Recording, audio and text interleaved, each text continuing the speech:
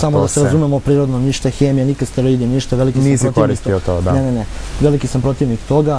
Ovaj dečko što je nabildovan, Vesna dečko je rekao sve na prirodnoj bazi. sve na prirodnoj bazi. Da.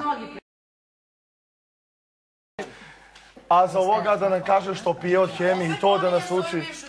Ovaj momak je rekao da ne koristi ništa od tih steroida i tako dalje. Pije, a ima neku hemiju, pije, nešto pije, nije ovo... Ne, on je rekao da je sve prirodno. Ne, ne, pije, pije, samo neka nam kaže i to je Ne, rekao ne nama gore sve prirodno. Evo sad će kaže, rekao. Sad će, sad će, sad će da nam kaže što pije. Rekao je da je sve na prirodnoj bazi, jel tako? Ustavi stomak. Pa neka nam objasni što pije i to je to. Nikola nam je rekao da je sve na prirodnoj bazi, da se zdravo hrani, Ma da trenira svaki dan. Nikola, pokaži stomak.